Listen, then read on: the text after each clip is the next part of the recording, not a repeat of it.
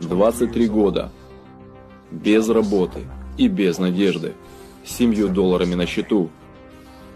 И я решил, что я сделаю что-то сам. Я не знал как или когда, но я знал одно.